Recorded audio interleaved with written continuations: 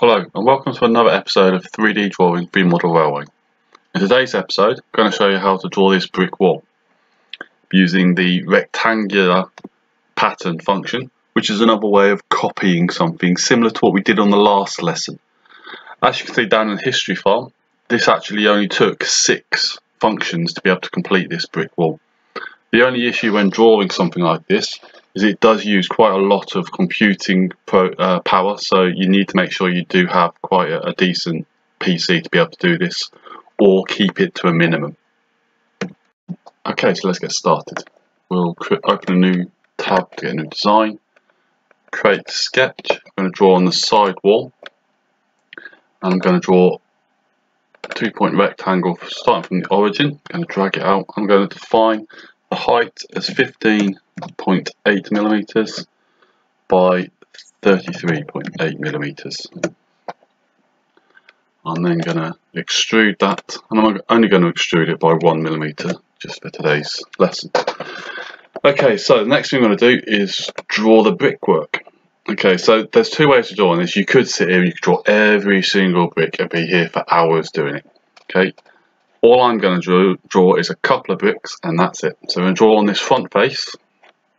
I'm going to draw, using two point rectangle again. I'm going to zoom right down into the bottom. I'm going to drag that out and I'm going to create a brick that is 0.6 millimeters high and I'm going to do it as, as 1.5 millimeters long. Okay, so that's my first rectangle. So that's my, the, the brick drawn. The next thing I'm going to draw is the, the mortar line. Okay, and I'm going to have that as 0.8 millimeters by 1.7 millimeters. So that gives me a 0.2 millimeter gap, essentially what would be my mortar. Okay, so the next thing I'm going to draw is the next course of bricks up. So I'm going to do create line now, a few people have mentioned construction lines in comments on previous videos. Here's one where it becomes really useful to have a construction line. So I'm going to select the midpoint of this brick and draw a line upwards. Press escape. I'm going to select that line and I'm going to, over on the sketch palette on the right here, I'm going to change it to construction. Now essentially all that's doing is creating a line that's there that I can draw off, but when I come to extrude, it won't affect the extrusion at all. Okay, so the next thing we're going to draw is the half of the next brick upwards. So that's going to be 0.6 millimeters tall. And then I'm going to define the distance from that edge to the construction line as 0.1 millimeters. Now what that's giving me is half of my mortar line here, and I know that that mortar line would then be centered on the brick. Next thing I'm going to draw is using a line again. I'm going to come across here, and I'm going to draw upwards, and I'm going to snap it to the same height as this brick. So what I do is if I come across with my cursor and go to that top line, you can see I now get like a little blue X again. Going to drag that across, and I know that I'm now at the same height as that one. I'm going to escape out of that, and I'm going to define my distance from my line, the, the construction line to the line, as 0.1 millimeters and I'm going to, it's already defined the height because I had it selected from this top line. The next one I'm going to draw is another line coming outwards and I want it to be in line with this mortar line here. And I'm going to then define that as 0.85 millimeters. Okay, so the next one I'm going to come upwards by 0.2 millimeters and then across to the end. Okay, and if I define that, 1.7 millimeters. Okay, so for some reason that's not defining, so it could be that this line here is not defined properly. Okay, so what I'm going to do is I'm going to try and define that. There you go, it's turned black. So as soon as I defined it, it's all gone black for me. Okay, so now what I'm going to do is I've finished essentially drawing my bottom course of bricks and then two half bricks for the next course up and the mortar lines that go with it. So if I now hold shift and select those two courses, right click, extrude, and we'll turn it around just so you can see what happens. I'm going to drag that extrusion in by 0.2 millimeters and we're cutting away. We now got our brick and mortar line. Okay, So again, it's not covering the whole wall, but now this is where it becomes really interesting. What we're going to do is we're going to come across to create, down to pattern, we're going to select rectangular pattern.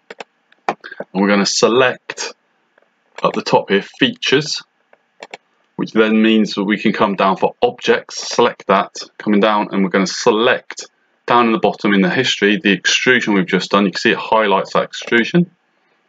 That's now selected. We can tell it's just got that because it's got one. We're then going to select the direction and we're going to do that edge there. Okay.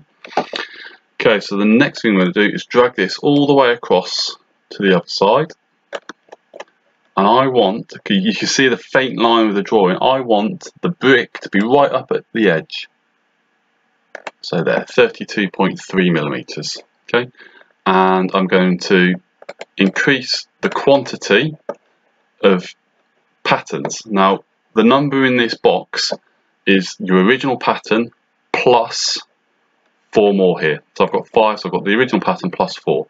I'm going to change that, I'm going to increase that to 20. Now what you can see has happened is I've now got evenly spaced bricks all the way across.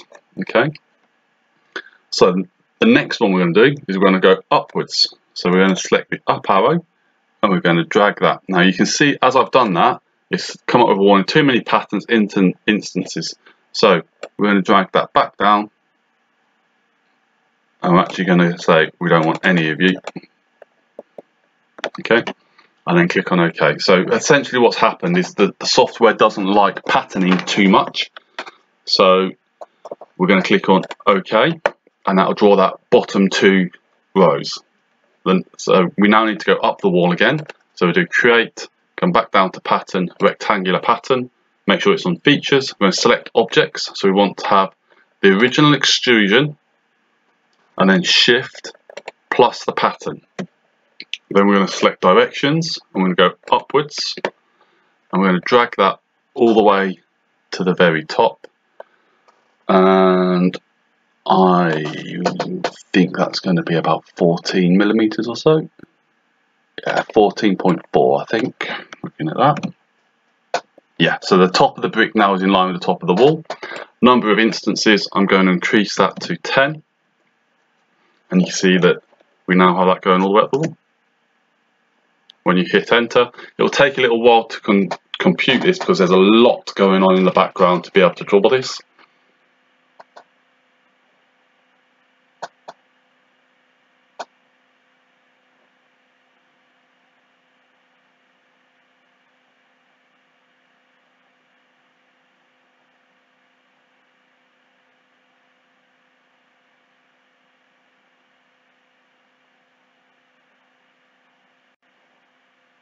Okay, and there's our brick wall, top to bottom, left to right. We've got a wall there that's 33.8 millimeters by 15.8 millimeters.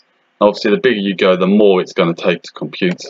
Um, what you can do is then ask the pattern to draw it the once pattern like this, and then ask it to then pattern the pattern again and again. And the more you add, the more complex it becomes, the harder it is for your PC to keep up with it. Hope you enjoyed today's lesson. It's only a little simple one today. Um, if you've got any comments, please leave them below. Otherwise, I'll see you next time. Thanks for watching.